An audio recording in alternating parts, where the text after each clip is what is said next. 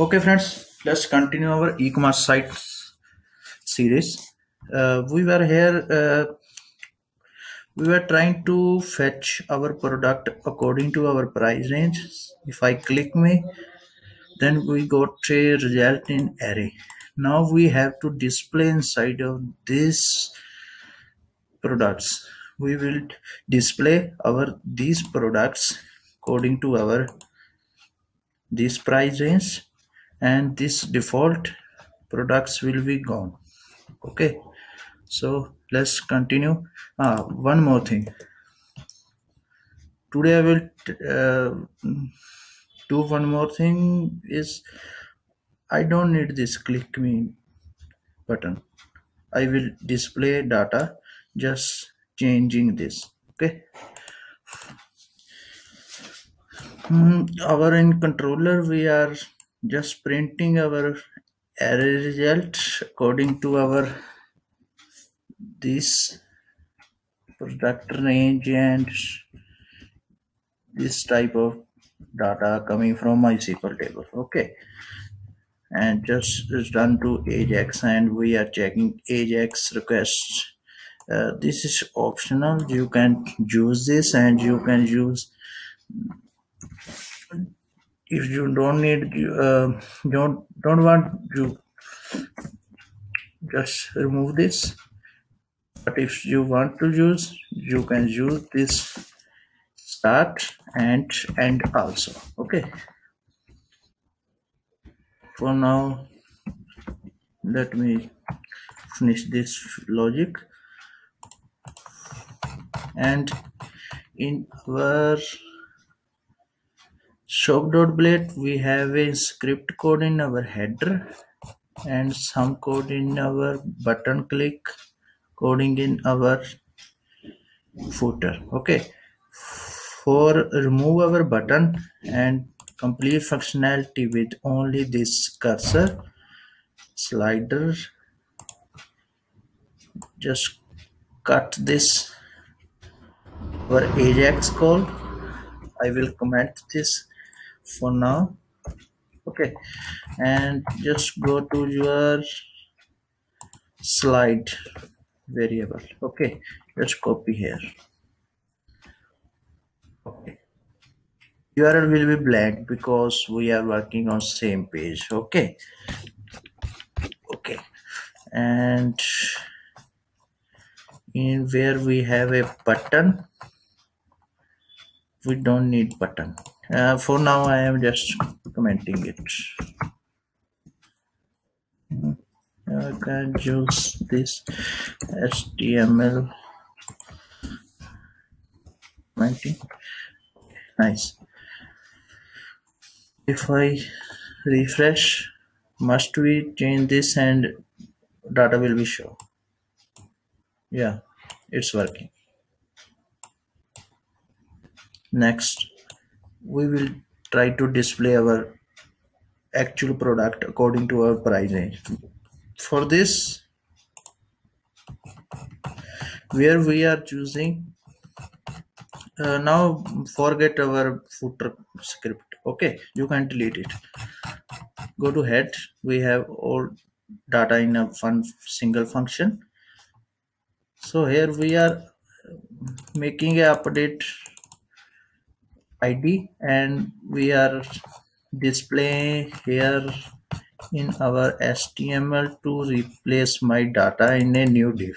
You can check for this my last video. Uh, for now we will change this. Just delete it. We don't need here. We need here our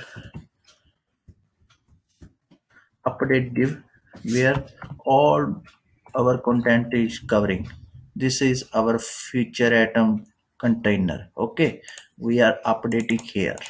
And next we need a new view just for uh, our displaying product. We are not uh, doing in our any logically. Just need a duplicate product listing page. Okay for this we can use any name. If I have a before shop.blade let me name it products blade.php that's nice. Okay uh, remove this. We need html code for this just copy your for loop. Okay you need for loop. We need our dynamic products. Just paste.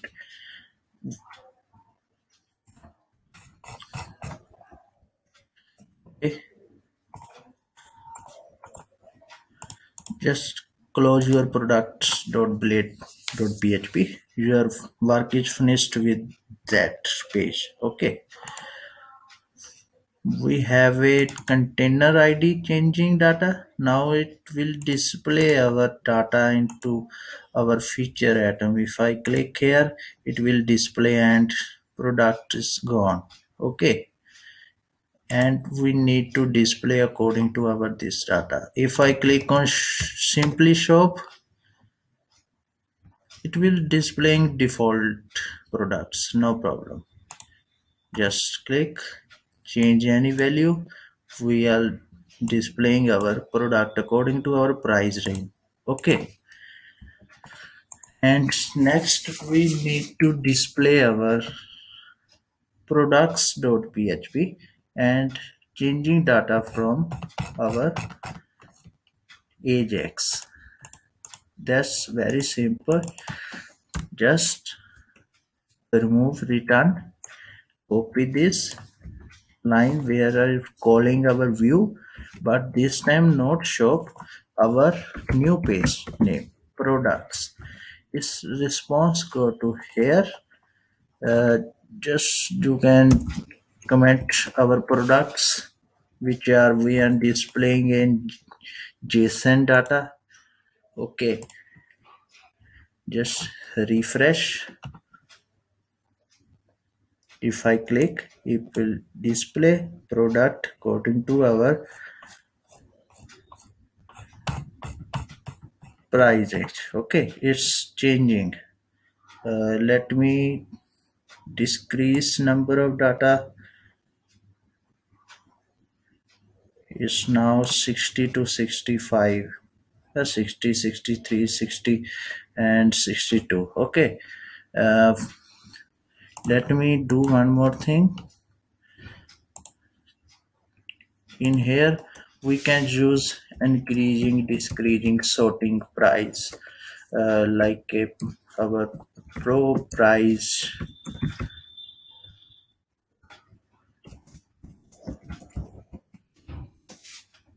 Let me check it's working or not. Just refresh sorry no product found. I think i wrong in my query. You can use uh, your own logic. I just doing uh, my uh, let me change this any. I think I am writing wrong query for this. Let me check on Laravel. Uh, sorry, it's order by. Oh my gosh, order by. Okay, mm, you can do decreasing. For first product must be our costly price let's go to 55 uh, decrease number of product to see 63 to 65 is only one product no problem. Yeah you can now see 63 62 60s and 60 uh, that's i think i have a MySQL pricing problem. Uh, you can edit price because I, I use faker library. Uh, that's problem. I'm sure this will be not uh, issue will be on your side. Our price range is working. Now we will make this text box to more look like this type of okay. For this go to shop and here our product. Now let me show you my designing skills i am sure you will like that also. I am using inline style. You can use in style sheet but i am doing here just for teaching you okay? Uh, for this uh, border will be your pixel okay? And Uh, we need read only for this. Our text box we are working on a single text box we will copy to our next one. Okay this look like good but we need more design. You can do your own design. I am just trying my okay we need a font weight bold okay? And color will be i like green. And just copy the style paste for next our text box with read only function. Okay. Now refresh. Let me see we get green bold color. If i change it will be changed. Our product is now dynamically. You can change your logic according to this greater than less than any want things okay? Our logic is now working. We are trying to show this logic and from last time. It's now our max price is 73 and we are showing from 72 71 71 it's 68 63 because we are using decreasing if i use here increase it will be show our less number of product price. Costly will be our max price is 65 this time.